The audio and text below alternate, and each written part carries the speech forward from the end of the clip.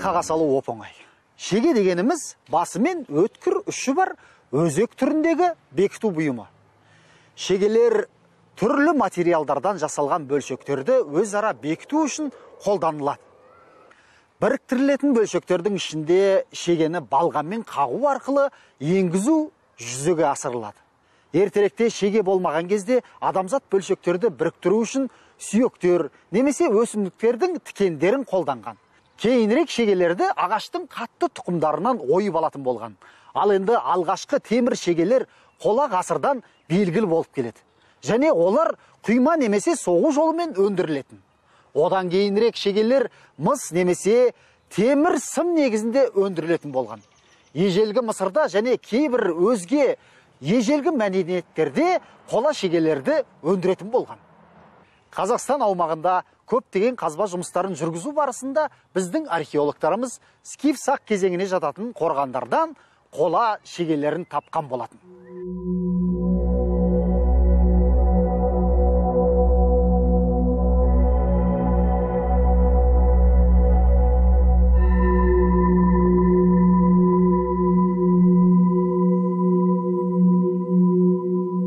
Ең алдымен адамға шеге не үшін керек болған түсініп алғанымыз жөн. Ең алдымен өңдеудегі ең жетімді және жеңіл болып келетін ағаш материалынан жасалған бөлшектерді өзара біріктіру үшін. Алғашқыда бұйымдар өзара өсімдіктердің майысқақ діңдерінің көмегімен бекітілетін яғни бөлшектер бір бірімен бекітілетін болған.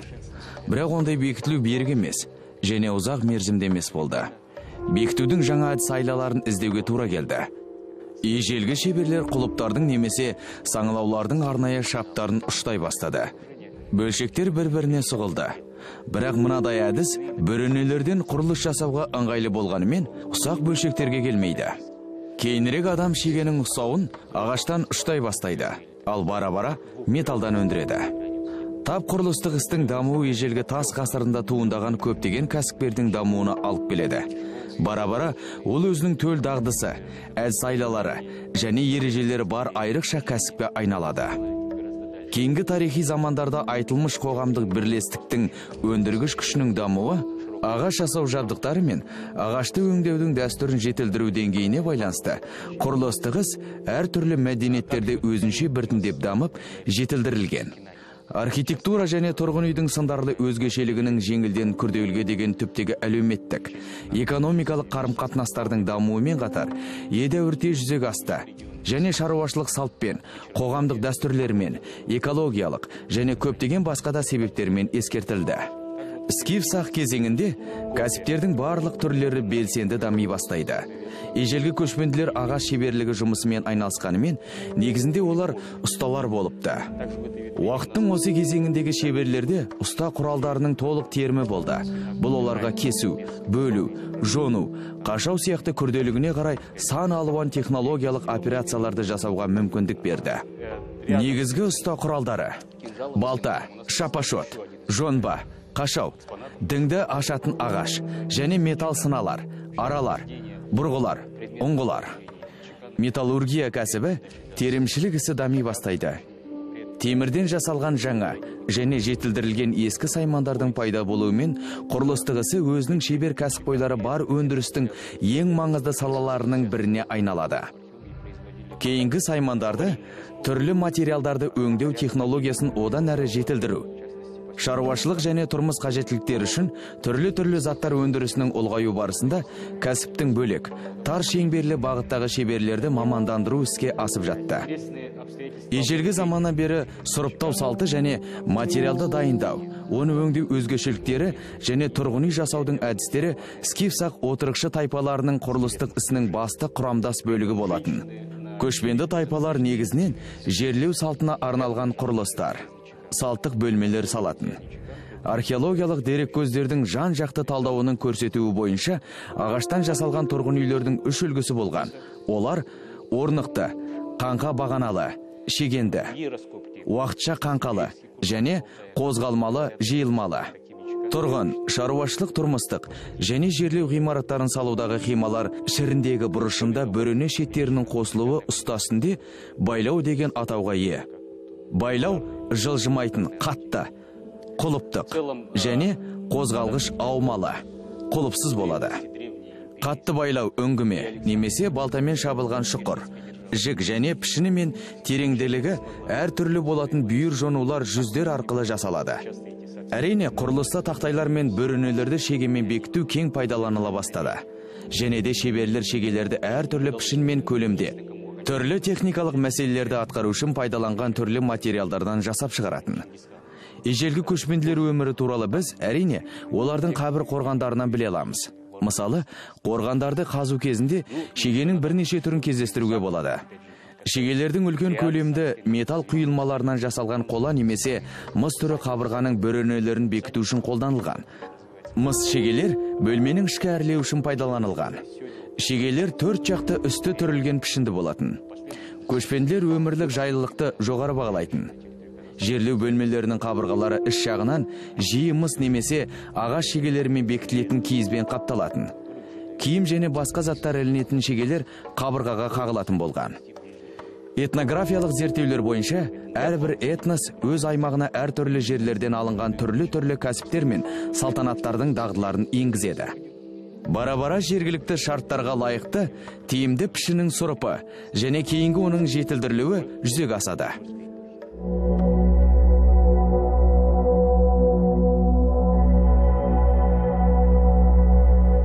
Егерде шеге сияқты бекіту материалының пайда болу тарихын алатын болсақ алғашқы мыс шегелері соғу әдісі арқылы жасалғаны туралы ескерте кету керек.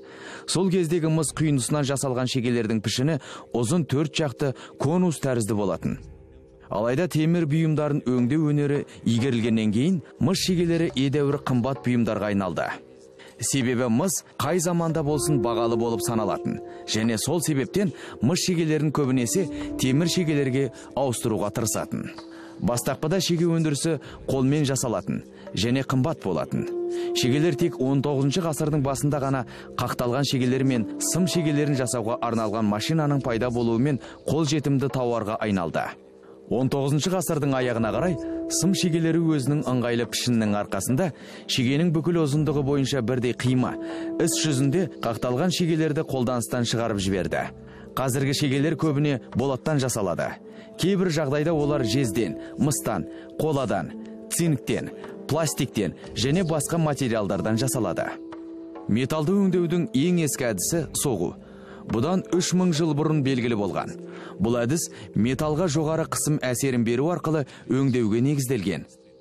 Осының арқасында металдық дайындама түрін өзгертіп қажетті пішін мен көлемді иеленеді.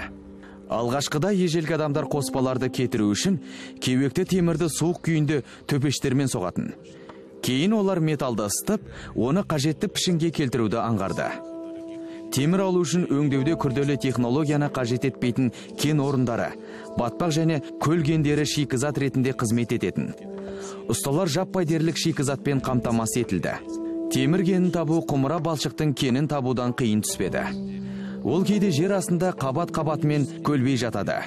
Қалыңдығы 30 сантиметрге дейін жетеді. Бірақ жиі батпақ пен көлдің түбіне жатады.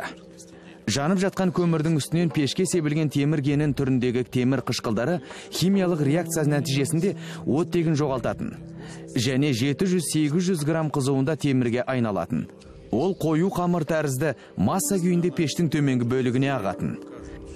Темірдің сұйық күйге айналу үшін қажет 1500-1600 градус қызуы ежелгі металлургтарға қол жетімсіз болатын. Сол себептен сол замандағы темірді қорыту үдерісі қорыту деп аталатын. Осы әдістің кемшілігі кеннен металл қорытудың төмен пайызы. Металл бөлігі кенде қалатын. Алғашқы дымқыл үрлегіш керік ретінде қарапайым тұрғын үйдегі ошақ қызмет етті. Арнайы керіктер кейінірек пайда болды.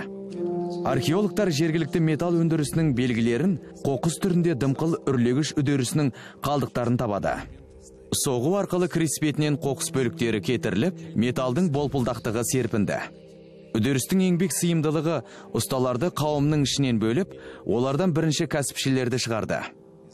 Ежелде ұсталар металды өздері балқытып кейін оны қақтады. Ұстаның қажетті құралдары крицті қыздыратын керік балқытатын пеш көсеу сүймен темір күрек төс балға зіл балға. Керіктің ішінен қызған темірді шығарып алып онымен жұмыс істеу үшін арналған түрлі түрлі тістеуіктер балқыту және қақтау жұмыстарына қажет құралдар терімі. Археологтар ауық ауық қорғандарда көптеген қақталған темір бұйымдарын ал ұсталардың жерлеулерінде олардың тістеуік балға төс құю бұйымдары сияқты құралдарын кездестіреді. Скиф сақ кезеңіндегі ұсталарға дәнекерлеу саңылау қашаулау айналдыру тілімдерді жамау қайнату болат суару сияқты барлық маңызды техникалық әдістер белгілі болған. Әрбір ұстаханада әдеттегідей екі ұста шебер және қолбасшысы жұмыс істейтін. Балталар сүңгілер балғаларды жасау күрделі жұмыс болатын. Балтаны темір астар қолдану және металл сызықтарын қайнату арқылы соғып шығаратын. Сүңгілерді темірдің үлкен үшбұрыш тілімінен қақтайтын. Темір қазандарды шеттері темір тойтарма шегемен жалғанған бірнеше үлкен пластинадан жасайтын. Темірді бұрау операциясы төрт жақты өзектерден тұратын бұрандаларды жасау үшін қолданылды.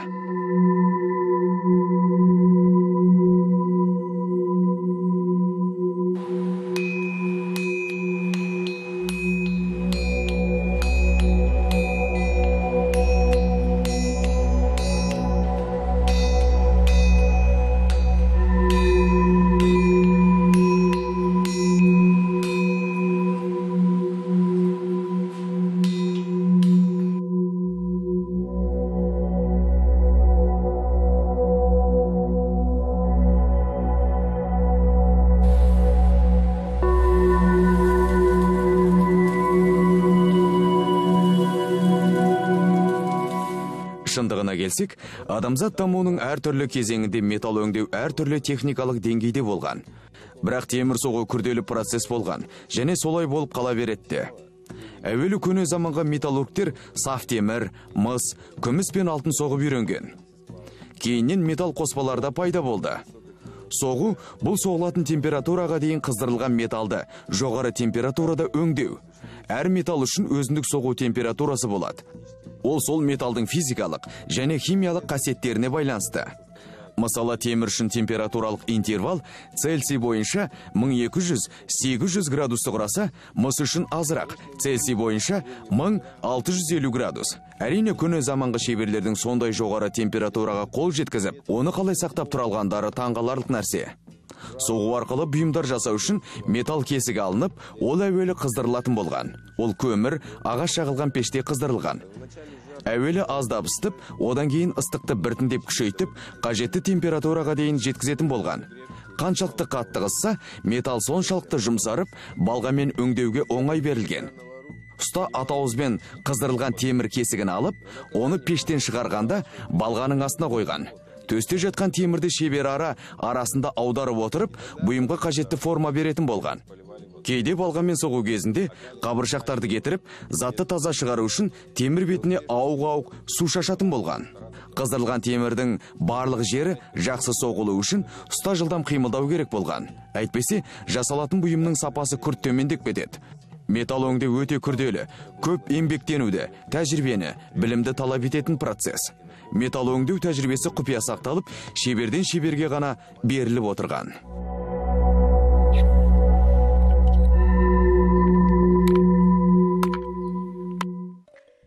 Біз қазіргі адамдар кейде ежелгі шеберлердің кәсіпқойлығын және бүтіндей қоғамның дамуын бағалай білмейміз.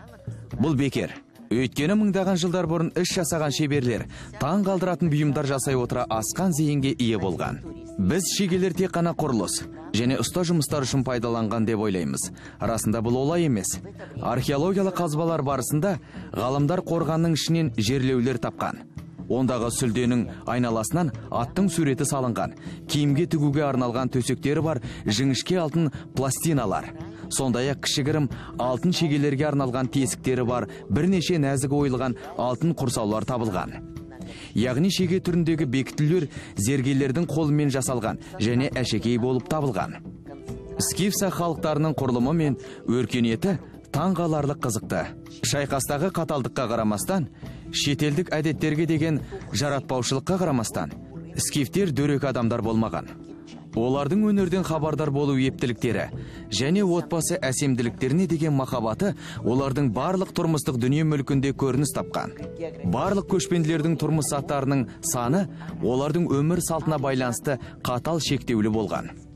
Солай бола тұрса да олардың өздерін қоршаған заттардың сұрыптамасы мен алуан түрлілігі шынында таң қалдырады. Олардың дәлдік пен шеберлігімен жасаған тіпті ең аз пән заттарының таң қалдырарлығы кем емес. Іс жүзінде әрбір аман қалған скиф жұмыстарының үлгілері жоғарғы сапаны көрсетеді. Ал ең үздік бұйымдары шынымен тамаша болып келеді. Қару және ең қажетті заттар сияқты осындай ажырамас маңызды заттардан басқа үй керек жарақтарының көптігі әрбір бөлек бұйымда қолданылған материалдардың алуан түрлілігі сияқты күтпеген жайт. Ал зергерлік бұйымдарға деген сүйіспеншіліктері жақсы байқалады. Олардың ең тамашалары әрине патша сарайларында табылған. Ондағы мәйіттер алтын диадемалармен сырғалармен сақиналармен алқалармен және білезіктермен әшекейленген. Онда салпыншақтар да бойтұмарлар да моншақтар мен түймелер айылбас пен медальондар болған. Осы көптеген әшекейдің ішінде бұйымдардың бөлшектерін біріктіретін кішкентай зергерлік шегелер де кездеседі. Ақырында айтайын дегенім скиф сақ кезеңі аяғына дейін зерттелмеген. Сондықтан ғалымдарды алдыда әлі де көптеген жаңалықтар күтіп тұр деген үміттемін. Осы білімдер бізге және келешек ұрпаққа өткен кеткенді сезініп өзімізді осы қазіргі уақытты түсініп қабылдауға және болашаққа сеніммен аяқ басуға мүмкіншілік береді.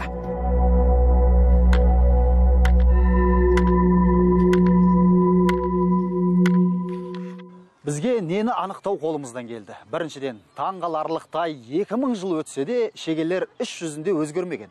Себебі шегелердің пішіні басы бар өзек пен үшкір шеті болғандықтан қолданыста ыңғайлы болып келеді. Шеге негізінен ағаштан жасалған екі материалды бір біріне біріктіреді.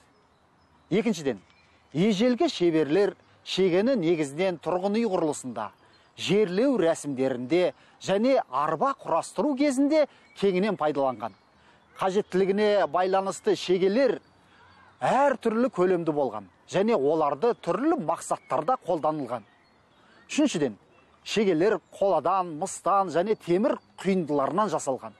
Төртіншіден шегелерді зергерлік әшекейлері мен құнды металдарды дайындауда да пайдаланған ондай шегелер кішігірім кейде өте майда болатын сондықтан бұйымдардың бөлшектерін аса мықты шебер бекітетін болған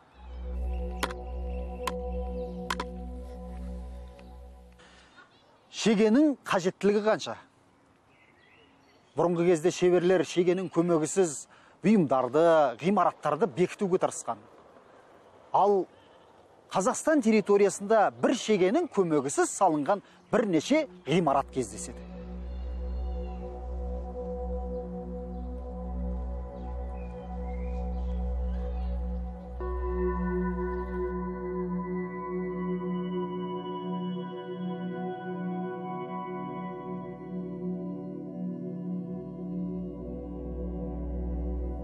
Фендер тарақшалар тарақтар шеңберлер мен шаш қыстырғыштардан басқа әйел затының өмірінде кем дегенде бір рет пайдаланатын тағы бір кішкентай аксессуар бар.